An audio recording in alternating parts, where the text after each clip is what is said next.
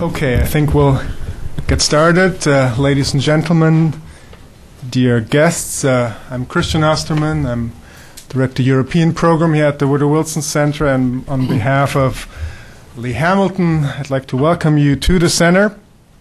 Uh, I'd like to welcome you to this session on U.S. Dutch relations in the post 1945 era. I'm particularly pleased to welcome our distinguished panelists here today Ambassador Renee Jones Bos, the ambassador of the Netherlands to the United States, Ambassador uh, Jerry Bremer, former U.S. ambassador to the Netherlands, uh, and of course, uh, Special Envoy Administrator to Iraq, uh, Professor Cornelis van Minnen, to his right, uh, Director of the Roosevelt Study Center in Middelburg, and professor of American history at Ghent University, and his two co editors, Hans Krabbendam, assistant director of the Roosevelt Study Center, and Professor Giles Scott Smith, senior researcher at the Roosevelt Study Center, and Van der Beugel, professor of diplomatic history of Atlantic Cooperation at the University of Leiden. Very pleased to have you with us today. Though the focus of today's session will be on recent U.S. Dutch relations. The meeting today, of course, is occasioned by this year's 400th anniversary of the arrival of Henry Hudson and his crew aboard the Dutch ship Half Moon in uh, what became New York Harbor in 1609, and more specifically, of course, the publication of four centuries of Dutch American relations, 1609 to 2009 co-edited by, co-edited by Professor Van Minnen and his colleagues, and written by a team of nearly 100 Dutch and American scholars. The book is really the first comprehensive history of this bilateral relationship as it evolved from the first exploratory contacts in the early 17th century to the multifaceted exchanges in the early 21st century. It is close I believe, to 1,200 pages long, and I'm sure it will be a rich resource uh, for future generations of researchers uh, interested in this very special relationship. Following opening remarks by Ambassador Jones Bos, the three co editors will highlight some of the findings from this uh, heavy volume, uh, and then Ambassador Bremer has graciously agreed to provide some comments, and then we'll open it up uh, for questions and comments by all of you. Since we have a rather large panel and limited time, let me leave it at this. Uh, let me uh, uh forego extensive introductions. There are um, introductions in the materials, the handout uh, made available to all of you outside. I'd like to, however, acknowledge the support uh, of this event uh, by the Netherlands America Foundation, the Roosevelt Study Center, and the Embassy of the Netherlands. Also grateful for Professor Gail Maddox. She is here with yes there mm-hmm. for uh, uh, for inspiring much of this collaboration uh, that led to this event, and finally my staff, Matt Starling and Timothy McDonald, for helping with the arrangements as well. And now I have the distinct privilege to give the floor to Ambassador Jones Bos for some opening remarks. Thank you so much, uh, Christian. Um, thank you for hosting us here today. Thank all of you for being here for this special event. Uh, special thanks to Ambassador Bremer to have bothered to come all this way and not forget about uh, the Netherlands and uh, the good memories we have of him. He was an ambassador who made a great impact uh, and impression on the Netherlands when he was there. And wonderful to be here with the, the co authors of this massive book. Um, I have been here exactly a year now. It was uh, the 17th of September, so a day uh, and a year ago that I presented my credentials to President Bush, then still president, and what a momentous year it has been. That same day, Lehman Brothers collapsed, leading to the biggest financial economic crisis that we have known since the, the Great Depression. Uh, there were momentous elections here in the United States, leading to the first African American president. Tremendous interest from the Netherlands. I've never seen so many groups of people just coming wanting to be here to see what was happening.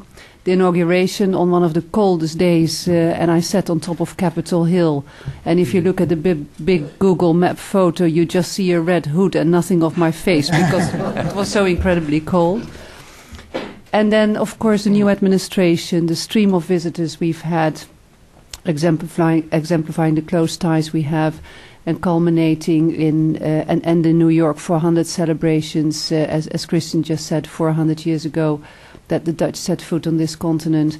And we had a very intense week last week in New York, seven days. Our Crown Prince was there and Princess Maxima uh, to uh, celebrate uh, the relations between the United States and the Netherlands. And if I look at the program, I think that exemplified the scope and the breadth of that relationship. There are the military uh, connection that we have very strongly from the first. uh, and our, our prince mentioned it at West Point as well, where he was cheered by 4,000 cadets that the Dutch were the first to salute the American flag. Uh, after independence, we were the first to give a loan uh, to the Americans during your War of Independence. It did take John Adams an awful lot of time because the Dutch were just as stingy then as they are now. but he managed to do it. So, you know, from the very first, uh, we were connected uh, through military ties. And now, of course, we stand shoulder to shoulder with the Americans in Afghanistan. we have troops in the south. Not everybody in the US knows that or realizes that. I I often get the reaction when I say this, oh, I thought we were there alone, and that actually the European allies are not very active there, but we are there. We are in the south. We have been there from the start, and we are also in one of the more difficult parts uh, of Afghanistan. And we work together in, in other areas of military cooperation. The Joint Strike Fighter comes to mind, uh, training that we do. So, very close uh, military and security cooperation, very close political ties.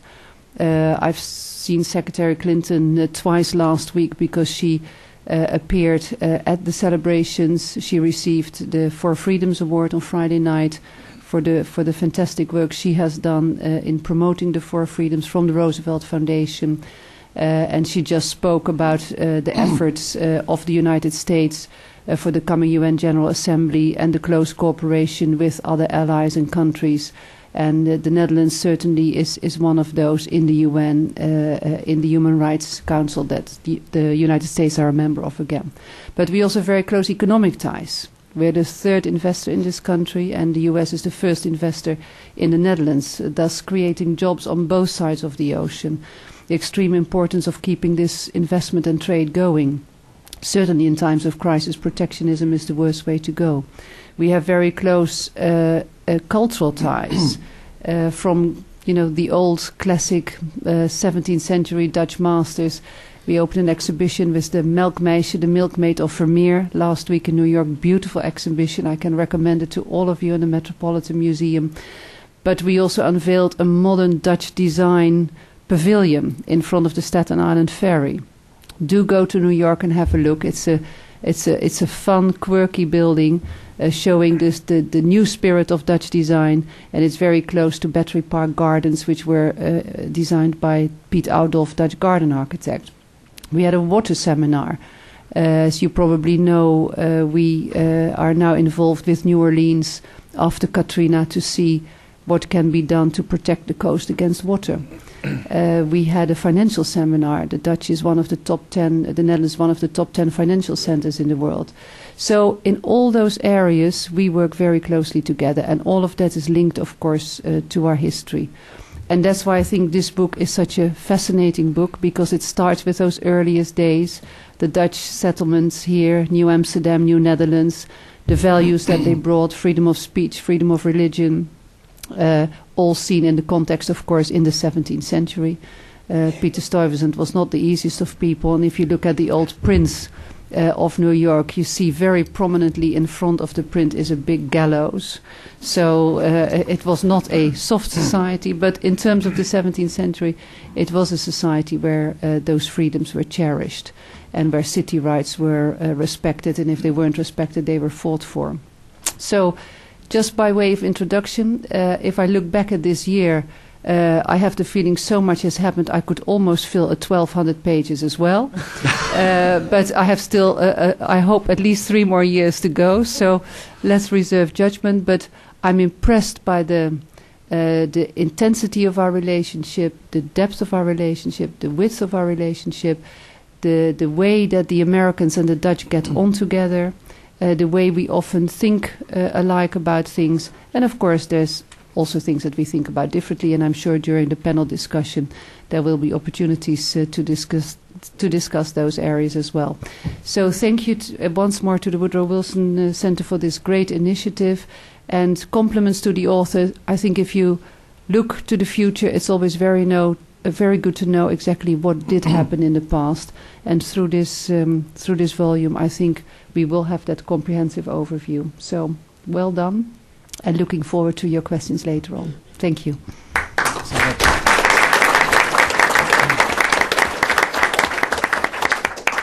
Professor Van Minnen? Yes. Well, it's a great honor and pleasure to be here at the Woodrow Wilson Center, and um, I'm very pleased that we uh, could organize this event in cooperation with the Netherlands Embassy and the Netherlands America Foundation, the Washington chapter in particular. Uh, I'm also very honored that Ambassador Bremer and um, Ambassador Jones Bos uh, have uh, so graciously accepted our invitation to participate in this meeting.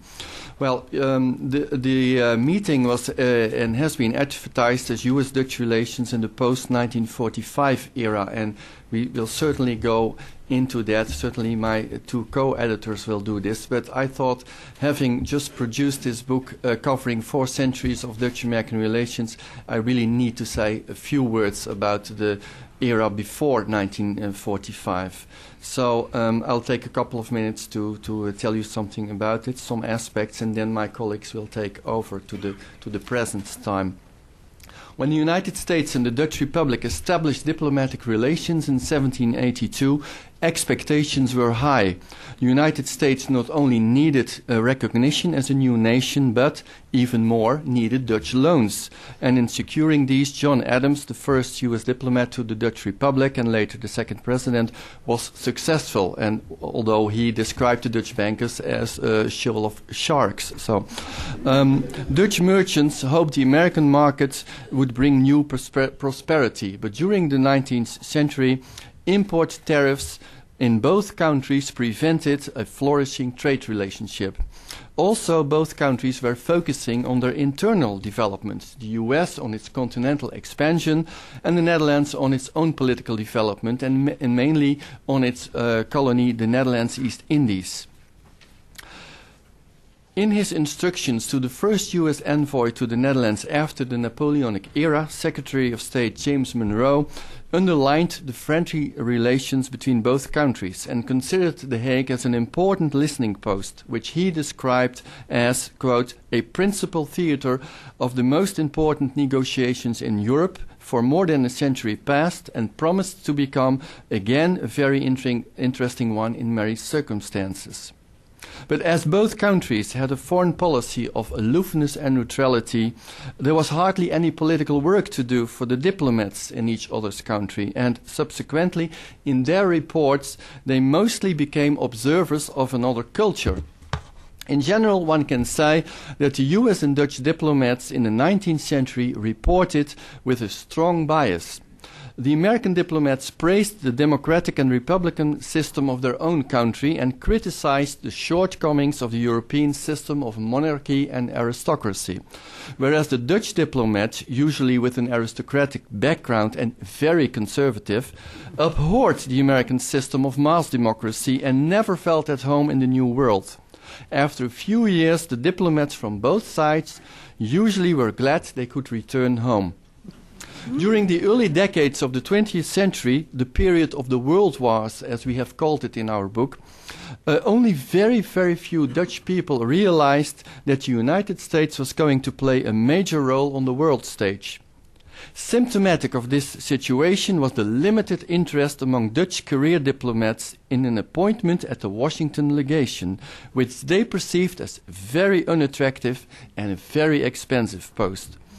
Around 1920, the Dutch government almost had to beg potential candidates to accept the position in Washington. That has changed, I believe. um, conservative and aristocratic diplomats uh, at the Washington legation in the 1930s had no sympathy at all for the United States and profoundly disliked Roosevelt's New Deal policy, which they considered a form of state socialism that should not serve as an example to the Netherlands. It was only during World War II that an increasing number of Dutchmen began to realize that for its democratic survival, the Netherlands had become dependent on the United States. And subsequently, in 1942, the Dutch legation in Washington was upgraded to the rank of embassy. Of course, during the interwar years, there were a number of Dutch, Dutch travelers to the United States who were interested in the country and who realized the increasing importance of the US, and also who published their observations in books and articles. But these, travel, these travelers, mostly intellectuals, were few in numbers and often skeptical about American mass culture and materialism. They thought European culture was far superior to what they saw in the United States. Dutch newspapers and periodicals in this era only occasionally published articles on the United States. So, if the United States before World War II was a faraway country for the Dutch, did the Netherlands have any cultural presence in the United States? In other words, were there any persons and or organizations who made any effort to explain the Netherlands and its history and culture to an American audience? Yes, there were, and I want to mention two organizations. First, established in 1885, the Holland Society of New York continued to perpetuate the memory of the Dutch West India Company colony of New Netherland and organized a wide range of activities for the descendants of the New Netherland colonists. Second, in 1921, the Netherland America Foundation was founded. The objective of the NAF was and is to advance educational, literary, artistic, scientific, historical, and cultural relationships between the two countries and to work toward, toward mutual understanding. And I'm glad the the Netherlands America Foundation, is a co sponsor of this, uh, this meeting. I want to mention four Dutch Americans who are, uh, are to be credited for their efforts to put the Netherlands on the mental map of their fellow Americans. Proud of his Dutch roots, President Franklin Roosevelt was a member of the Holland Society since 1910, and he was also, ac also active in the Netherlands America Foundation. From 1921 through his election as President of the US in 1932, he served as the NAF's Vice President. FDR, as you may know, was especially interested in the Dutch colonial architecture, and during his presidency he saw to it that the Dutch architectural style and the construction material of fieldstone were not only used to build post offices in Hyde Park, Poughkeepsie, and Rhinebeck in New York State, but also for his retreat, Top Cottage, and the Franklin D. Roosevelt Library as well. Two other active Dutch Americans reaching out to the American public were the NAF's first president from 1921 to 1924, Edward Bok. He, was, he made a name in the United States as the editor of the Ladies' Home Journal. And the other person, Adrian Barnouw, was the Columbia uh, University Queen Wilhelmina professor in Dutch language, literature, and history. And he, he also did a lot to put the Netherlands uh, on, on the map. The popular historian, journalist, and radio commentator Hendrik Willem van Loon was the fourth Dutch American on this list. Through his numerous publications, his books, his articles, he wanted to make the Americans, as he put it, Dutch conscious. Upon his death in 1944, the London Times wrote that Van Loon was, quote, one of the most engaging products of the marriage between Holland and the United States. Indeed, for many Americans in the 1920s through 40s, Hendrik Willem van Loon and the Netherlands were synonymous. Now, I want now, uh, do now want to give the floor to uh, my co-editors um, to discuss the post-1945 era, but I really wanted to take this opportunity to say a few uh, words about uh, the era before 1945. Uh, so, I give the floor to yep. Hans. Thank you, Kees. As you notice, there's quite a different a contrast between the jubilant uh, perspective of the of Ambassador Bos Jones and uh, the quietness of the 19th century. Mm. Something has happened in between, and that's the focus of my talk. Mm. Kees Van Minnen left us with a view of America from the Netherlands at a considerable distance from Holland. with serious doubts among the Dutch elite whether American culture possessed anything to be desired. Sixty years later, this situation is almost unimaginable. After World War II, these attitudes would radically change, uh, especially at the Dutch side. The end of the war was celebrated as an American accomplishment, even though few American soldiers had engaged in combat on Dutch soil. But a general feeling of gratitude for the American victory left a lasting legacy of goodwill. As peace returned, Dutch destitution contrasted deeply with American prosperity. Americans were envied, and when they promised that the Dutch could be like them, the Hollanders readily believed them. The funds, and especially production measures of the Marshall Aid Plan, enabled the Dutch to ascend on the ladder of material progress. One might think that the intensity of transatlantic relationship after the war was predominantly a government affair. The political situation of the Cold War spurred both governments to actively seek a close cooperation. The threat of communism and the loss of the Dutch colonial empire in the East cemented this new transatlantic relationship. But it was not only a relationship between two states. Private actors also contributed to the relationship. Uh, the cultural section of our book offers rich material albeit that it offers a Dutch rather than an American perspective, as uh, Kees just gave some examples of that. And it's not difficult to find other examples of the cultural avant-garde artists such as Piet Mondrian and Willem de Kooning, who led the way, who first felt the pull of New York already before the Second World War. They settled there and awakened the interest of their American colleagues. And in their wake, Dutch museum directors explored the value of modern American art. But only in the 1960s did these cultural connections grow strong. Dutch culture needed to become more democratic before it could widely engage American culture. And of course, this process of democratization was also partly inspired by American examples. It needed a complete economic recovery of the Netherlands and the incorporation of the Dutch into the global economic networks to create good conditions. Only after Holland had been rebuilt and prosperity had returned could the middle classes afford buying American consumer products. Dutch families in the 1950s reached the consumption level of American families in the 1920s but the result was a multiplier effect. Thanks to the introduction of a cheap tourist class in the late 1950s, thanks to tens of thousands of Dutch uh, of tens of thousands of Dutch tourists could personally visit the United States and report. In addition, thousands of returning immigrants solidified their bonds and created first-hand experiences with American culture the introduction of television in the Netherlands in the late 1950s added to a positive visual image of America. And American business methods offered attractive alternatives for traditional me- methods. Academics at Dutch universities discovered the American social sciences to find solutions for modern social problems. And all this resulted in a climax in the admiration for all things American in the 1960s. And then things began to change. The rising level of education and a more independent mindset sometimes turned against American trends. America provided also the means and the models to challenge the old authorities. New political parties in the Holland emulated direct democracy, but mass protest movements also rooted in the Netherlands, as Ambassador Bremer might remember.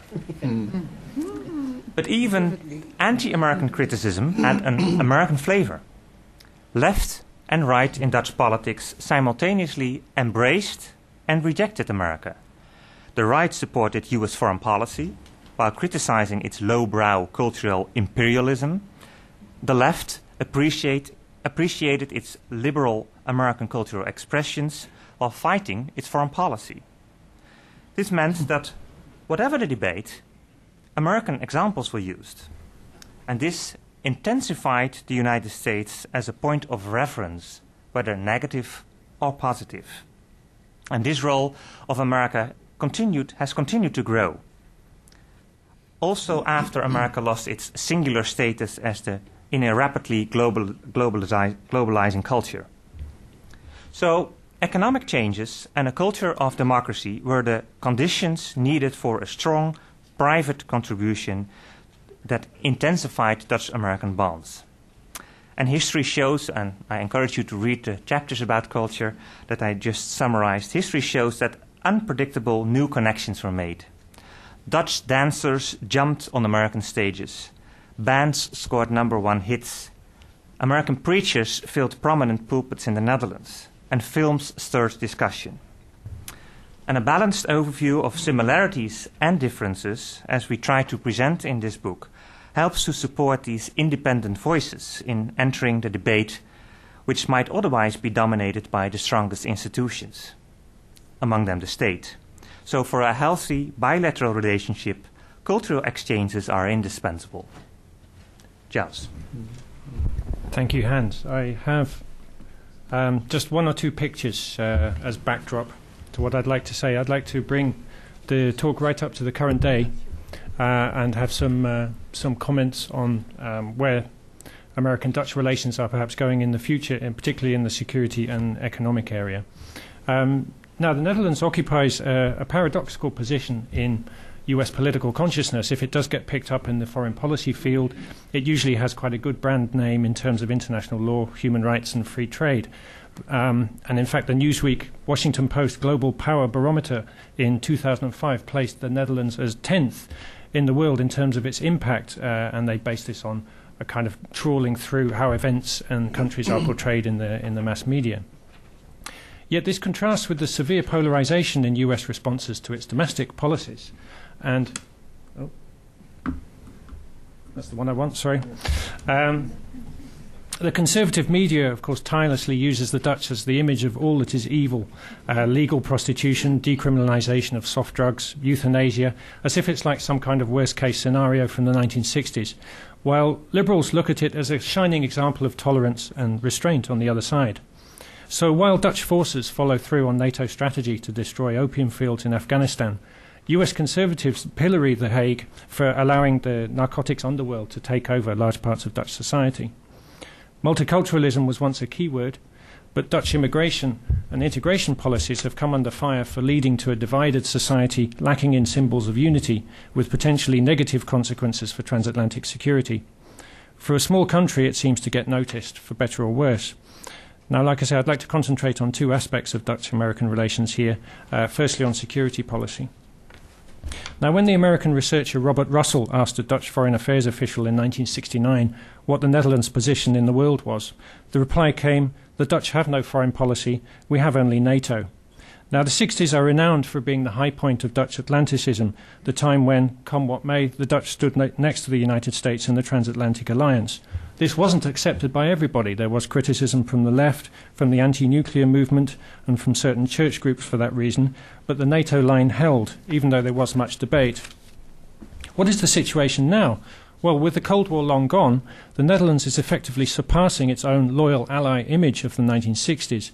Since the Yugoslav experience in post Yugoslavia experience in Srebrenica and Kosovo in the 1990s, the Dutch military have been determined to become interoperable with and match the standards of US forces, to become members of this special NATO club alongside the British, Canadians, sometimes the Danes, and the Australians as honorary members.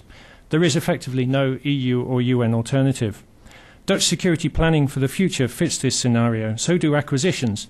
The Joint Strike Fighter, as Ambassador Jones Bos mentioned quite rightly, still many years from completion and triple its original budget, was always going to be chosen by The Hague in place of the already functioning Eurofighter, never mind a Swedish Saab. The Dutch government has recently announced severe cutbacks in public spending in 2011, up to 20% in some areas, as a result of the 30 billion euro deficit in the budget following the banking crisis. And I just want to put another slide. Whether this will have an impact on Ministry of Defence planning remains to be seen. Now, it's interesting, going back to the point in the 60s, that there was this uh, debate about NATO uh, views coming in from particular parts of the political spectrum. If you look at the Dutch political scene now, it's completely absent. Uh, the Socialist Party, formerly anti NATO, has retreated to backing a debate over NATO's possible global role as a security provider. On the other side of the political spectrum, the right wing Partij van de Vrijheid, deeply nationalist party currently polling, polling to win over 20 seats in the next elections, insists that Dutch forces will only take part in NATO peacekeeping operations in the future, alongside full support for promoting human rights and a global counter-terrorism campaign. In other words, in, this, in these circumstances, it's highly unlikely that the Dutch mission in Afghanistan will end in 2011. Second part, uh, public diplomacy and economics. In an interview in the influential NRC Handelsblad on 7th September, the new US ambassador to the Netherlands, Fay Hartog Levin, indicated that public diplomacy, the use of various media outlets and channels to influence public opinion in other countries, will be high on her agenda. She gave particular attention to passing on the US experience in integration and assimilation with minority youth in Dutch cities, in doing so also improving the image of the US among these more marginalized groups. Now, I must say, former amb- US ambassadors in The Hague have also dedicated much of their time to public diplomacy activities. Here we see Ambassador Bremer receiving a copy of uh, Hans Brinker and the Silver Skates. Mm-hmm. And um, I'd just like to use this uh, moment to illustrate what the impact that n- the Netherlands can have on people. Um, here we see Ambassador Bremer uh, arriving at uh, Schiphol Airport to take up his post. Mm. And uh, several months later, here we have the impact. Uh, so the, the stress is gone, and after several months in the Netherlands, uh, everything, everything has become serene and, uh, and wonderful. Quiet, like in the 19th century. right. Going the other way, uh, a recent report in the Dutch paper NRC um, noted that the Netherlands came in ninth in terms of how much money countries invest in lobbying and influencing public opinion in the United States. Four Dutch institutions distribute a total of $2.7 million in the United States the Netherlands Foreign Investment Agency, the Tourist Bureau, the Association of Insurers, and the City of Amsterdam. Now, partly the Amsterdam, uh, City of Amsterdam was to take on the negative image that Fox News portrayed of the city, but generally the emphasis here is very clear. It's defending the substantial uh, Dutch economic interests in the United States. The scale of US Dutch investments is colossal. According to Commerce's, uh, Department of Commerce's Bureau of Economic Analysis, Dutch FDI in the US stood at 259 billion in 2008, equaling that of Japan, with only the UK having a higher figure. For the last 50 years, the Netherlands has also been a favourable, favourable location for US investments coming into the EU. Not for nothing did President, President Obama recently give his support for the Netherlands becoming a permanent member of the G20 Economic Management Group. Now, to conclude, to say the least, the centuries old desire, Dutch desire for international order is now 100% focused on the United States. The rise of new economic and political powers such as China and India has attracted a lot of attention, and there is much talk of us entering an increasingly multipolar world. Dutch trade delegations regularly make their way eastwards as a result. Yet, in an age of uncertainty, the overall effect is a heightened need to reinforce existing sources of order and leadership and that means looking west and lining up alongside the USA. Likewise, from the US perspective, in an increasingly multipolar world, allies like the Netherlands, with their combination of soft and limited but effective hard power, will be of great value for the United States. Thank you, Thank you very much.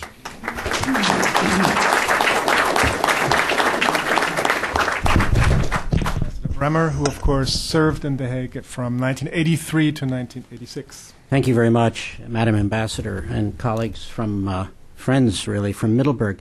Uh, I, would like to start by just uh, uh complimenting the, ne- the, uh, the Netherlands for its very strong dedication to the efforts in Iraq and Afghanistan. I know these were difficult decisions for the respective governments in the Netherlands, and I certainly hope that uh, Professor Scott Smith is right that the Dutch will stay in Afghanistan after their current um, deployment is due to expire. They're playing a very important role in the uh, brigade level strength. Uh, they had a battalion in Iraq when I was there. They have a brigade level. They're in one of the most dangerous parts. They are now taking over command, I think, of the division in that area. And I, I commend them. It, it is a good example of the Dutch commitment uh, to the alliance. Uh, I, when I arrived in the Netherlands, I'm going to do it. I was asked to do a little bit of sort of retrospective on how Dutch-American relations were in the case study of my three years there. Um, shortly after I arrived, the largest demonstration, public demonstration in European history, uh, took place in The Hague. Uh, some 750,000 people. It still, I think, is the largest demonstration in European history. Uh, paraded against um, the American embassy uh, by implication, at least against me. I was asked by my security people to stay home that day. My wife, uh, being a rather tough citizen, got on her bike and went down and patrolled back and forth. This this demonstration took ten hours to pass the American embassy. What were they upset about? They were upset about the question of deploying cruise missiles in the Netherlands. What was that about? Now, some of you will remember this, some of you don't. I'm going to give a little history. In the mid 1970s, the Russians suddenly deployed a group of middle range SS 20 missiles in Eastern Europe, which threatened all of the capitals of NATO. Uh, it basically called into doubt and could threaten to upset the strategic balance between the United States and Europe. It challenged, in a way, the American commitment to defend NATO. And in effect, it threatened to upset the essential geopolitical post war bargain. And that bargain was the United States would defend Europe, which would allow the Europeans to rebuild their economies after the war. That was the essential geopolitical bargain that really dominated East West relations from 1945 until 1990. So this was a major thing the Russians had done. Under President Carter in 1978, the alliance took a decision called the two track decision, which said that they would be willing to negotiate the withdrawal of these Russian SS 20 missions, missiles, but at the same time would proceed to deploy American cruise missiles, Pershing missiles, in five NATO countries, including the Netherlands. This was the so called two track decision. The, by the time I arrived in the Netherlands in 1983, the negotiations, which had begun uh, under President Carter, had basically stalled out. Uh, although, and four of the five NATO countries had agreed to deploy the missiles as a result. The Dutch had not. The Dutch were the last holdout. And it was quite clear that the Soviet strategy was to stop the full implementation of the two track decision. If they could do that, it could, first of all, call into doubt the one for all concept that underlies NATO, underlay NATO then, and underlies NATO now. We're all in it together. And secondly, of course, it would decouple European security from American security by calling into doubt the question of whether the United States would, in fact, carry out its commitment to defend Europe. In other words, what had happened with the Soviets and what was going on with the deployment of these cruise missiles really had become a vital matter for American security policy and for Western security policy. It put the Netherlands right at the top of the list back here in Washington. Now, the Dutch, to, to now talk a bit about the challenge I faced, the Dutch public was split. It had been split, as Professor Scott Smith pointed out, since the war, since anyway the late 60s, in general terms, and it was split on this issue. The Labour Party, the PvdA, was opposed to deployment. The Liberal Party, the VVD, was in favor of deployment. The D66, which I think has since more or less disappeared, nobody knew what it's growing again. Nobody knew what its position was. And as usual, there was a coalition government in the Netherlands. And the, to complicate matters further, the leader of the coalition government, which was the Christian Democratic Party, was itself split on the question of whether the Netherlands should allow the deployment of these missiles. And just to make it still more complicated, the Christian Democratic Party held the positions of Prime Minister, Foreign Minister, and Defense Minister. And those three men were split on the question of whether or not they should deploy missiles. So it was quite clear that the position, the eventual position of the Christian Democratic Party was the key to whether the Dutch would go along and carry out their obligations to deploy the Pershing missiles. Now, as it happens, I succeeded a, an American ambassador who also understood the importance of this issue, but who pursued a very aggressive and open uh, diplomacy to try to push the deployment. He spoke often in public and very um, directly to the Dutch people about the importance. Before I left Washington, I read a lot of Dutch history. Uh, I would say at least that many pages about Dutch history. And I went around and talked to all the former American ambassadors in the Netherlands and many non government experts, including at places like, like the Wilson Center. And my conclusion was the Dutch people are a very honest people, they're very direct. As Ambassador Renee Bos pointed out, there is a, a real similarity in the way Dutch and Americans talk about and talk to each other, something that's really quite remarkable. But I also concluded the Dutch are rather stubborn. They have an expression in the Netherlands that the Dutch have long toes, and it's very easy to step on those toes. And it's unpleasant for both the steppy and the stepper, I found. So, as I studied Dutch history before I left, I came across many of the things that have been talked about here the 400 years, the first pilgrims, the establishment of New Nederland. As Crown Prince Willem Alexander said last week in New York at one of the celebrations, these men and women who came to the United States from the Netherlands, quote, brought a love of freedom and a spirit of entrepreneurship to America. Dutch banks, as the ambassador pointed out, gave us our first loans, which basically financed our revolution. As Barbara Tuchman's book pointed out, they made the first salute to the United States. Um, for years, our two countries had shared a commitment of deep value to free trade and an open liberal economy. And as was just mentioned, the United States had played an important role through the Marshall Plan in the reconstruction of the Netherlands. When I arrived in 1983, th- at that point, both the United States and the Netherlands were the single largest investors in each other's uh, countries. The Dutch was the largest investor here. We were the largest investor there. Our two-way trade was enormous. The Netherlands was the third largest recipient of American exports in the world, basically a tribute to the efficiency of the port of Rotterdam. Over a thousand American firms had their European headquarters in the Netherlands already in 1983. Cultural relations between the two countries had flourished uh, over the last half century.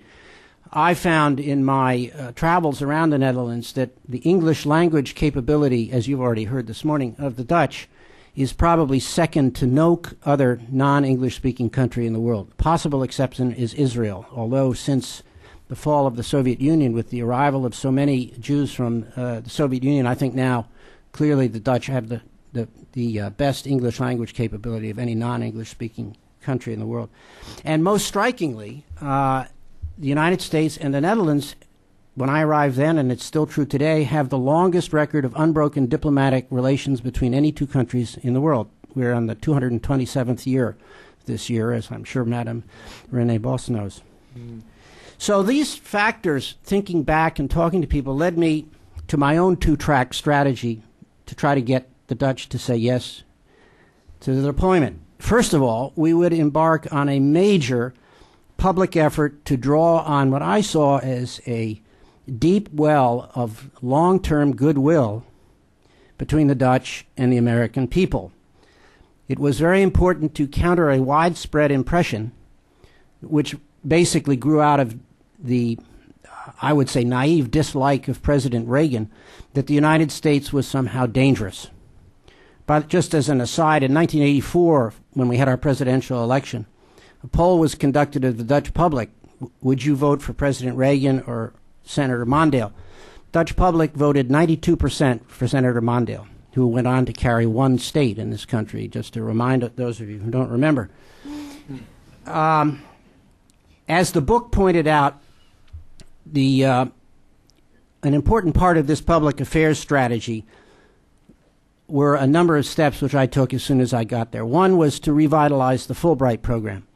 Fulbright program had fallen into a situation where it had become the plaything of, with all respect, uh, senior Dutch uh, academics. They were giving Fulbright uh, scholarships to their friends and rewarding each other. Mo- I found the average age of the Fulbrighter coming from the Netherlands was 56, and if you read back if you read back to the original legislation, we were not supposed to be rewarding uh, people in the twilight of their careers.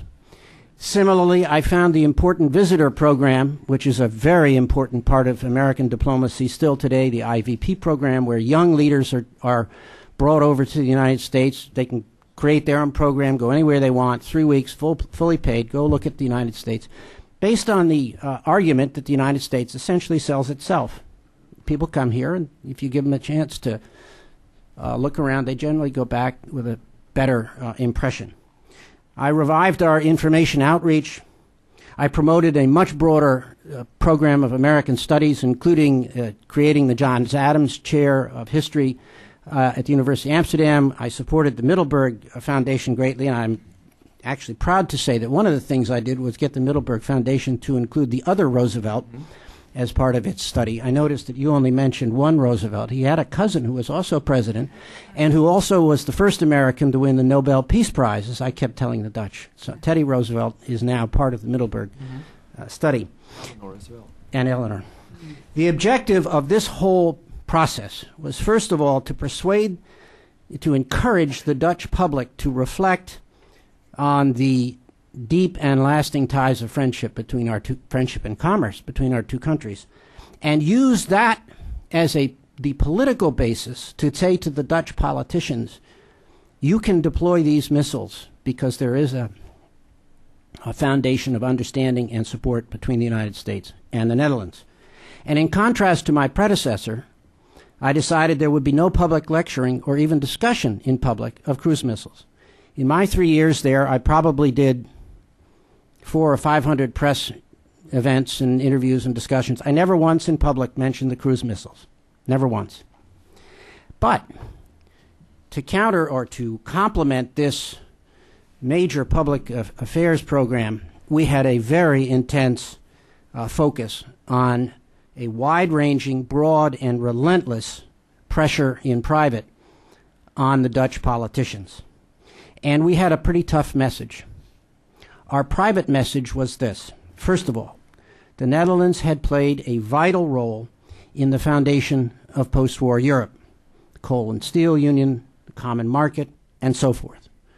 Secondly, the Dutch had learned, it was passed over rather lightly here, but the Dutch had learned a lesson from neutrality, failed neutrality in World War I and World War II. Like other members of what was called the Oslo Group, which was basically the Scandinavians and the Benelux countries, who felt after World War I that neutrality was the way to protect them in World War II, they learned, the Germans taught them pretty quickly, that that didn't work. And the Dutch were a founding member of NATO as a result. And had provided some of the most effective early leaders, particularly Joseph Luns, who was a longtime Secretary General. Thirdly, we would tell the Dutch politicians you have earned the reputation as a serious, thoughtful ally. Every time major issues come up, you Dutch, being Dutch, take it seriously. You study the matter, you think about it, you talk, God knows, a lot about it, and you have, generally speaking, come to the right decisions. Thirdly, Dutch and alliance security, Dutch and alliance security are threatened by the SS 20s. By the way, the peace movement and the Russians uh, I think, encouraged by the Russians, put around the story that there were no SS 20s or that we had the wrong numbers. And one of the things we had to do was, and it was quite a struggle, get I had to get our intelligence community to agree to bring clear documentation, which meant photographs of the SS 20s and their locations, and show them on a classified basis to the top Dutch uh, politicians. Next, we would tell the Dutch leaders NATO unity and security would be gravely damaged by a Dutch decision to say no on the cruise missiles because it would, in fact, split the alliance. And finally, we had to tell the Dutch, and that was the hard part a Dutch no will have a significant negative impact on your role in NATO and on your relations with the United States. And the Dutch had played an important role, just as an aside, in the NATO organization called the NPG, the Nuclear Planning Group, they weren't going to be able to have that anymore if they didn't take these missiles. It was a pretty tough message. Now, I mentioned briefly getting the, we had other elements of the strategy in, in order to support this. I mentioned briefly getting the intelligence community to come over. We had a visit by Vice President, then Vice President Bush, who came and delivered this message in person. We had regular visits by the Dutch Prime Minister, Foreign Minister, and Defense Minister to Washington where they heard elements of these same messages in private from American uh, leaders. Success eventually came about through a series of secret negotiations with the Dutch foreign minister, Hans van den Broek, at the residence of the Dutch ambassador in Brussels, where we brought people over from Washington, and both the foreign minister and I traveled secretly to Brussels, and we had discussions there. I have to say these were tough discussions, and I I came to have a great deal of sympathy for John Adams when when he talked about how hard it had been in 1778 to get the Dutch banks to make the loan. I sometimes thought I would be there four centuries, you know, trying to get the Dutch to come along. Uh, in May of 1986, the efforts were um, uh, rewarded at about 2:30 in the morning one morning when the Dutch uh, Parliament voted in favor of the deployment. And of course, we never had to deploy these missiles in the end because of an agreement that President Reagan eventually uh, made with the Soviet Union. Now, there are a couple of lessons here, I think. One, uh, paying attention to the 400 years of U.S. Dutch relations was important, and building a public affairs strategy on that uh, played a very important role in, uh, if you will, smoothing the way for the Dutch leaders to make what was a very difficult uh, decision. Secondly, alliance steadfastness paid off. And thirdly, steady American, firm American commitment to carrying out this decision was extremely important. I must say, I didn't expect when I was invited to uh, speak here some weeks ago that the question of deployment of missiles in Europe would suddenly become uh, important again, but it has. Uh, and uh, we now see some of, uh, somewhat of a replay of some of the problems uh, that were faced in the cruise missile debate in the Netherlands uh, 25 years ago. Thank you. Thank you.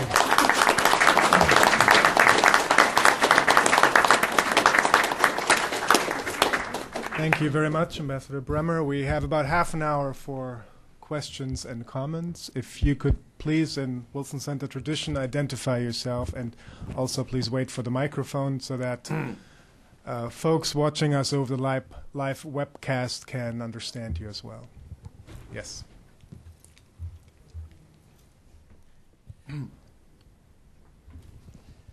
I'm, I'm Howard Wiarda, which some of you may recognize as a Dutch Frisian name. Um, and my question is addressed to the ambassador, actually. And I'd like to ask you this. We have noticed in this city that many ambassadors from abroad, uh, as part of their strategy, are now reaching out to their ethnic communities in various parts of of the United States. So the Portuguese ambassador goes up to Connecticut and Rhode Island, where there's a large Portuguese community, and so on. And so I'd like to ask you if you are also doing that, uh, first of all, beyond the Hudson River.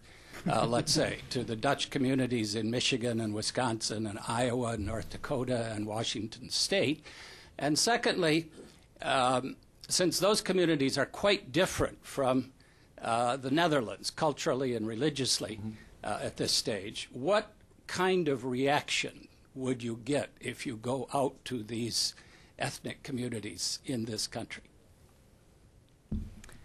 Thank you very much. Uh, leaving the Hudson River aside seems hard to do after last week, but uh, I'll try. Um, I think um, two things I'd like to say about it. One, there's a lot of Dutch people here, or people of Dutch uh, background who do not feel necessarily that they're part still of a Dutch community. So I have the feeling that a lot of Dutch Americans have really fully integrated in Dutch society and do not necessarily stick together with their own uh, former compatriots. Um, General Petraeus, for example, is of Dutch background, but nobody knows it, and I don't think he makes a big deal of it, and I don't think he just sticks to uh, to to his Dutch groups. Um, so I think maybe the Dutch, in that sense, are a little bit different. But I'd like to hear from you if you if you share that that assessment from maybe the Lithuanians or the Poles or the Irish, who very much tend to stick together and maybe cherish uh, uh, that background and and uh, that heritage. On the other hand, there are groups, as you rightly said, in Michigan and Iowa, and I have been in Michigan uh, for the Tulip Festival, the annual Tulip Festival, and I thought that was an absolutely fantastic event. Uh, first of all, arriving in Grand Rapids and, and going, I was helicoptered by a gentleman called J.C. Huizinga uh, to Holland and Zeeland and Drenthe and all the places you have there. So it really feels as if you're back home. And everybody is called Hoekstra and Joustra and all Dutch names, but they don't speak a word of Dutch anymore. So it's a very interesting, uh, interesting experience. Uh, the tulips are everywhere. They, uh, the the festival is uh, like a, spring ritual. Uh, all the aldermen and, and, the mayor of the city walk around in wooden shoes and clogs, and they have brooms in their hands to sweep the streets clean, uh, like in the best Dutch spring cleaning tradition. But I still think they strongly feel the tie. You have colleges like Hope College, Calvin College. They have ties with with the Roosevelt Institute, amongst others, but also with de Vrije Universiteit in Amsterdam. Uh, so uh, I have not yet uh, visited all of the Dutch communities, but I intend to do so in my next years here. Uh, I think it's good to, to keep to cherish those ties, and it, it gives an extra dimension uh, to the relationship. It gives an extra entry into different groups of the population, and uh, and it's also fun uh, to to to keep those traditions going. So I encourage you all to go to the Tulip Festival in Michigan, and when I've been to Iowa next year, mm-hmm. I'll tell you more about that one too. Thank you. Um, from Holland, Michigan, and Hope College. Ah, for you. Excellent. I have here uh, two photographs of. Would hold on, hold on, hold on, please. Uh, the, the microphone. Otherwise, our audience out there will miss this.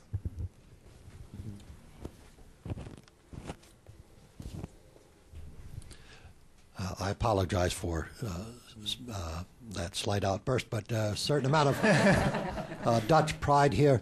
Um, uh, we were very happy to have Her Excellency uh, the Ambassador in Holland, Michigan in May, and I have with me two photographs of her and her husband, Dr. Jones, riding in a um, an open convertible in the parade and looking very happy uh, doing so. And uh, she made a tremendous impact uh, on people in Holland, Michigan. She's doing a superb job mm-hmm. in representing the Netherlands and building uh, the relations. And I just want to express uh, my personal and our community's deep appreciation for all that you're doing uh, to build uh, and strengthen these relationships. Thank you so much. Thank, Thank you. you. Any other comments or questions? Yes, coming over here.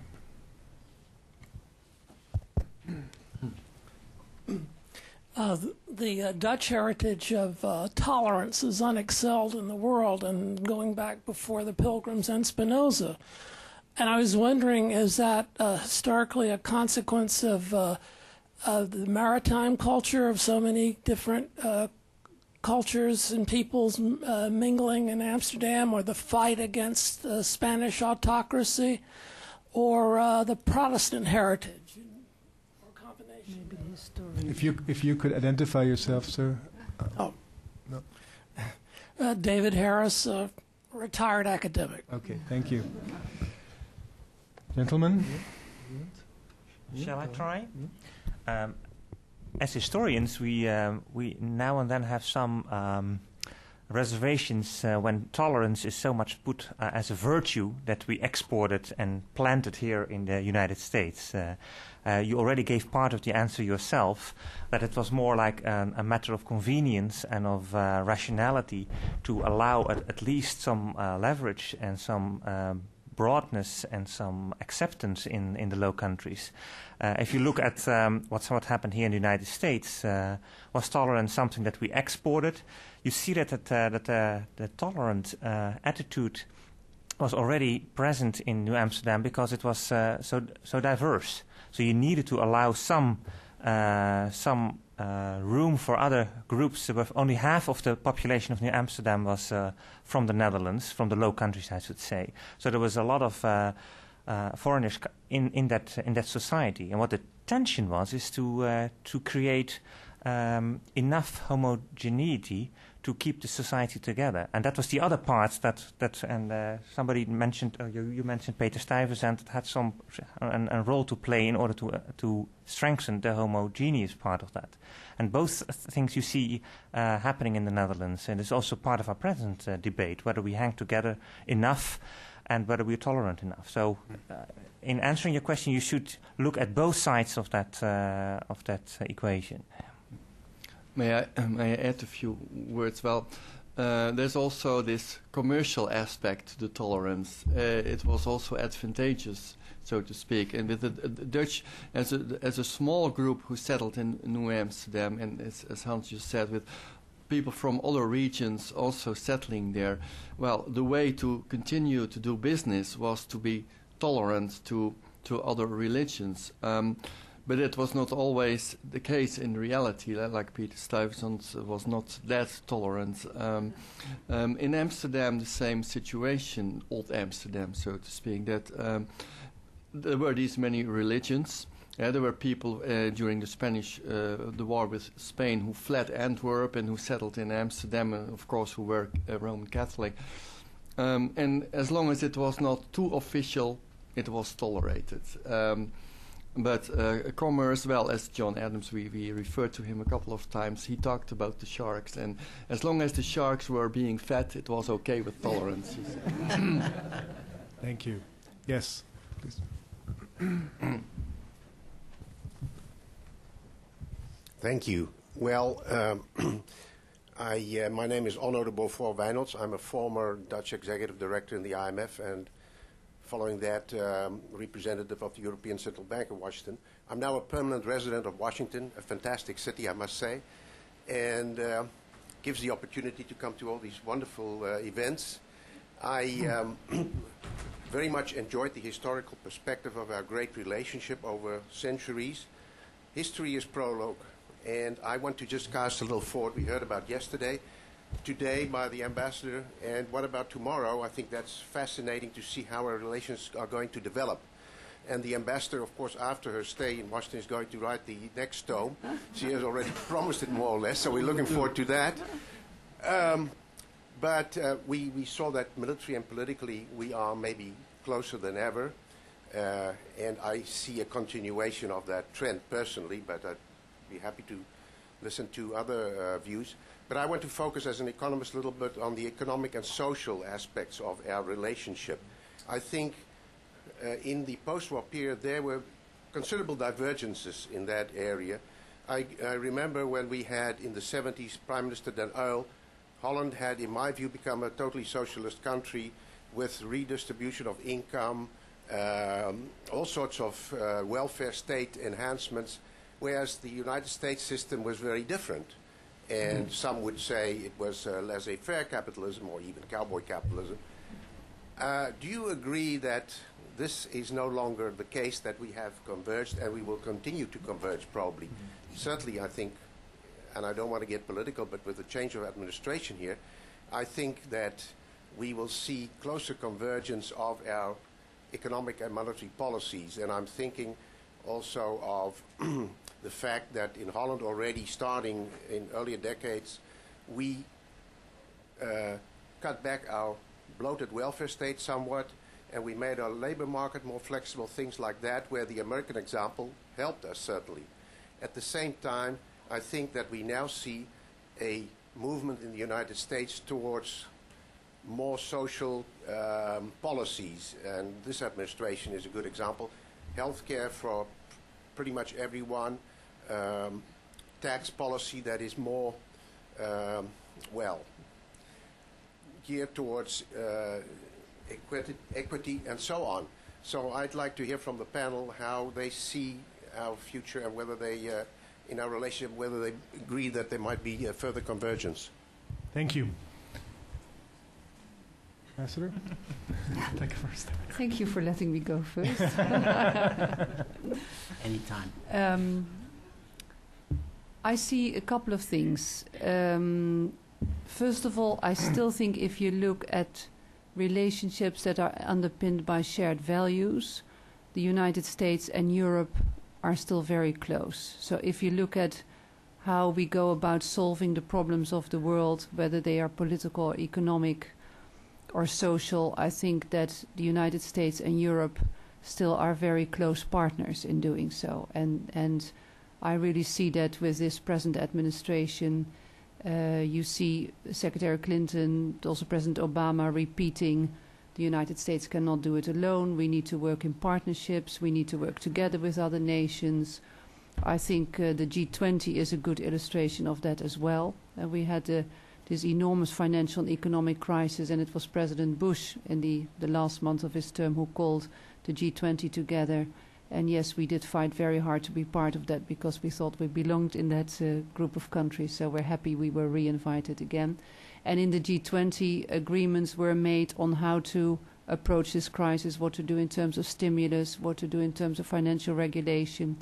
Now, I don't think it will work out in exactly the same way in practice in Europe and in America because our societies are still different. What I really notice here is the allergic re uh, reaction that most Americans have to a bigger role of government, whereas we think the role of government is here relatively small if you compare it to the one in Europe and Europeans expect governments to solve issues because, well, that's what we pay taxes for. So there still is, I think, that difference in looking at the role of the state. Uh, another difference, I think, compared to, to maybe 20, 30 years ago, the times of the Cold War, is that there are so more players on the international stage that are of importance uh, to the US. So I don't think there is such an exclusive relationship anymore. In the Cold War, of course, Europe and the United States worked very closely together because we were the closest allies in the world. And if you look at the economic situation, for example, China is very important for the US. China, I think, owns uh, uh, uh, a lot of, uh, of, of the United States economy, if you would look at it like that. Russia is very important to pursue some of the foreign policy goals. Uh, think about uh, Iran, the sanctions, the role in the Security Council India, Brazil, you have those upcoming countries that are also fighting for a bigger share in the IMF, and that's why the G20 is important. So I think if you look at values and if you look at how we look at the world, Europe and and particularly also the Netherlands and the US will stay the closest of partners. But I do think there's more competition out there, and uh, I do think there's there's there's a more complex world now than there was during the Cold War time.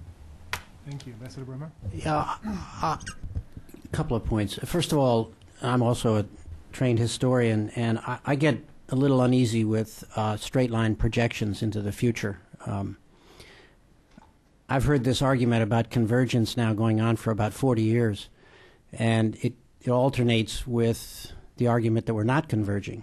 So it depends on when you take the picture. I think it is true, as the ambassador has said, that there is a fundamental difference still between the United States and Europe on the role of the state, uh, the appropriate role of the state, not just in economics, but in the political life of the country. That that is true, even though we have shared values. Um, and but I think there is um, there is a question as well about the nature of the state. And here I think it's quite different in Europe, in particular countries, and and I would ar- argue also the Netherlands. I mean, what is what does it mean uh, to be a citizen of the Netherlands? You know, we in America pretty much know what it means to be an American. Now, we may get to a point 50 years from now where we're asking the same questions that are being asked in Europe. But with the very high uh, density of immigrate immigrants, immigrant populations in countries, particularly in France, for example, where it's almost 15%. I think the Netherlands is less, 5 or 6, 7%, something. And these immigrants are not coming from um, the same cultural background as the Dutch. What does it mean to be a Dutchman? You have to speak Dutch? You have to read Dutch? Can you subject yourself to a different kind of law, as has been proposed by some Muslims in the United Kingdom. Um, these are questions which were danced over here this morning, but which are really very fundamental right now in the Netherlands to the debate about the politics. And I think if you look, I mean, the Netherlands, I have more confidence will get through this because of its history of tolerance and so forth and its ability to address hard questions. I have less confidence about some of the other countries, major countries in Europe, being able to address this, particularly when you look at demography. Demography is king. There, there are three, you know, you can't change history, you can't change geography. And if you add demography into the mix, you've really got a pretty good way of knowing where the future is going. No European country is at replacement levels of population growth. None, including the very Catholic countries of Italy and Poland. They're all below, which means their populations are all basically declining. This is the fundamental thing that is going to change Europe in the next 50 years.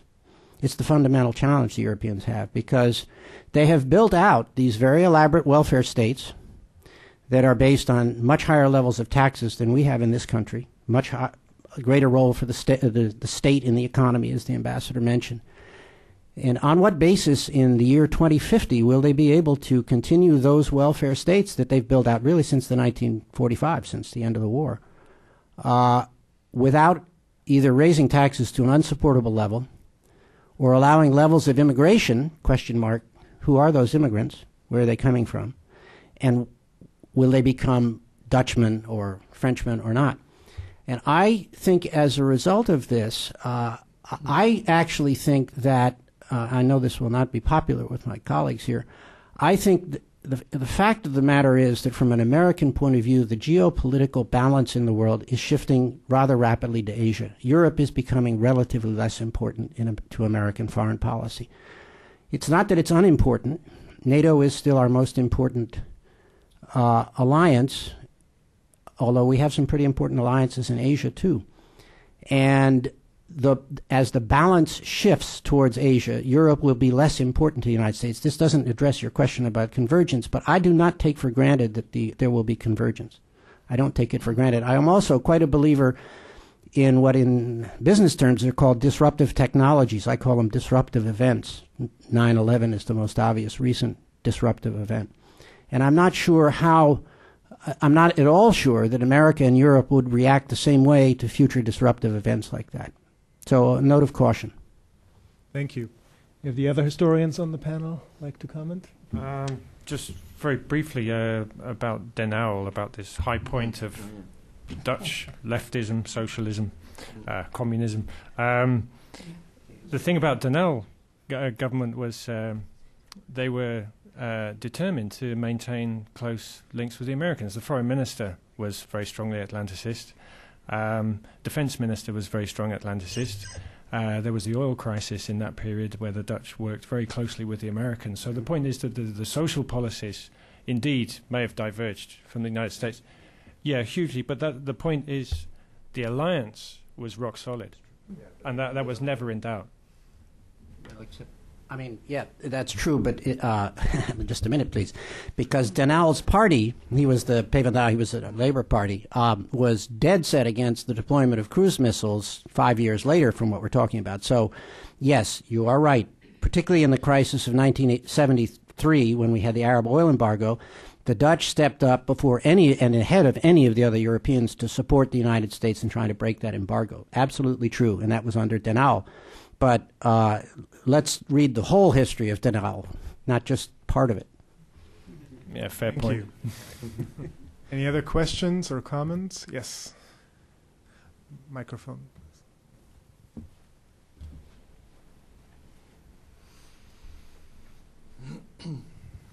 Thank you. I'm Leela Dane. I'm here because I couldn't get to New York last week. Uh, I'm a member of the Society of Daughters of Holland Dames, which means I can trace my heritage back to late 17th century Cornelis de Melyn, who, who was um, founder of Staten Island.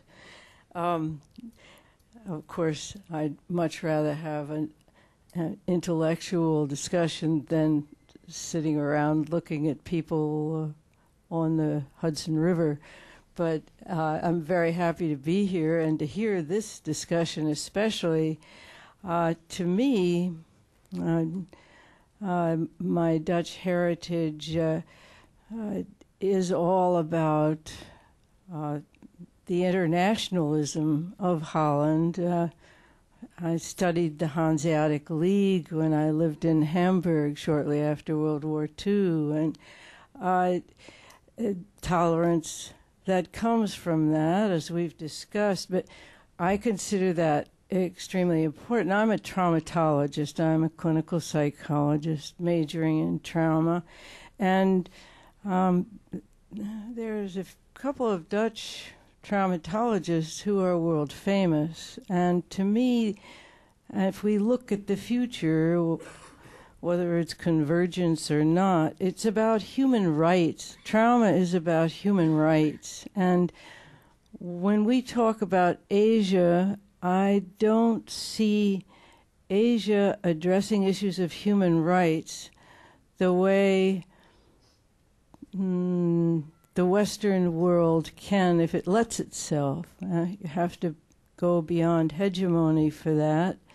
Um, so that's where I'll be looking at in the future, and I'd like to hear what the panel has to say about that. And I, I hope that uh, the leadership in, in Holland will not forget about these famous traumatologists you have. Thank you. The leadership uh, certainly doesn't forget about human rights. Uh, for our present foreign minister, Minister Verhagen, uh, human rights is at the core of his foreign policy. And uh, we just had our speech from the throne, the annual um, kind of discussion of the new budget, where the Queen reads out the speech and the ministers fill in the programs for the different ministries. And Minister Verhagen repeated that very strongly. It's at the core of our foreign policy. Um, and I think it is very strongly that also for the for the present administration, uh, Secretary Clinton just gave um, a speech at Brookings Institution about her um, um her her um, direction for the upcoming United Nations General Assembly, and uh, issues of human rights and development, the rights of women, for example. Uh, the fight against um, uh, uh, conflict is very strongly at the forefront. So I think that will stay. Uh, the problem is always how you implement it. And how do you do that, for example, in relations with China, where you have a, a, a broad spectrum of relationship. You have your economic interest, your financial interest. Uh, you need them on your on other foreign policy issues. But for us, it has never been either or. It always has been and and. So even with big countries like China and Russia, we have a, a huge economic inter interest in both of those countries as well but has that has never stopped us from addressing human rights issues and supporting human rights activities, activists, uh, NGOs, uh, but also helping those countries build up the rule of law, for example, by building up uh, a legal structure. So, and I think that for the United States, uh, that will be the same. Thank you. Anybody else like to react on this issue of human rights? Well, as historians, we are not always that good to predict the future, of course. So, um, good at predicting the past. The past, we can predict the past.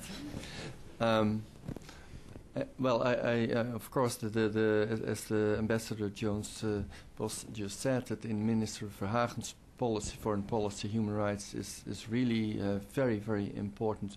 But if we talk about, as Ambassador Bremer mentioned a moment ago, look into the future, let's say 50 years from now, well, with the demographic changes taking place in Western Europe, certainly, including the Netherlands, I would have my doubts too. whether human rights would still be at the core of Dutch foreign policy, I don't know. Uh, but if you look at the demographic development in the Netherlands, with let's say the, the four biggest uh, cities in the Netherlands having uh, more than 50, 55% of people from non Western countries already. I don't know. it's a concern to me too, I must say, yes. Thank you. We're just about uh, out of time. Any final questions or comments? Yeah, one. Okay, final question there, and then we'll conclude. Henry Hetker, a researcher at NARA, retired federal government. I, I, wondered about your feelings regarding the future of Western New Guinea. You know, the West Irian is suffering this illegal occupation, now more or less incorporated into Indonesia. Uh, what are your suggestions on this? Uh, is there any way to reduce the insurgency to have people work things out, or is it sort of hopeless, uh, like another Tibet? Thank you. I'm going to let the ex colonial power address that. Well, you're asking a very difficult question, but um, well, first of all, for the Netherlands, we uh, we accept the territorial integrity of Indonesia, so it means that we accept um, uh, that Indonesia is as it is now. Uh, we do think that the Indonesian government should um, uh, uh, recognize the rights of all the people living in Indonesia as a continuation to the question that was asked earlier, and that means that you give people the right of speech and the right of uh, the, the, the, freedom of religion, that you give them food and education and shelter. Uh, so uh, it will remain um, uh, a difficult uh, area, I think, for the time being. But uh, our position is that within that and within that recognition, you try to talk to the government and work with the government uh, about how to change the situation for the better. Uh, if. I can just add, sorry, um, th- there is a certain amount of um, uh, activism amongst the Papua community in the Netherlands and connections with certain civil rights groups. It's very low key, grassroots type activity, and I doubt whether it will ever expand beyond that. So there are certainly connections, but um, it's, it's, shall we say, staying off the political map largely, if that's answering your question. Thank you. Well, I think we've come to the end of our discussion. I think it's been a very rich panel. Thanks uh, to, uh, in good measure, to uh, our uh, panelists. I'm very grateful to Ambassador Jones Bos, Ambassador Bremer, and our uh, three co editors here. Uh, there are flyers. Um, provided by the uh, press outside uh, for you to order copies if you're interested. Thank you all for joining us here today, for your questions and comments, and hopefully see you again soon here at the Wilson Center. Thank you.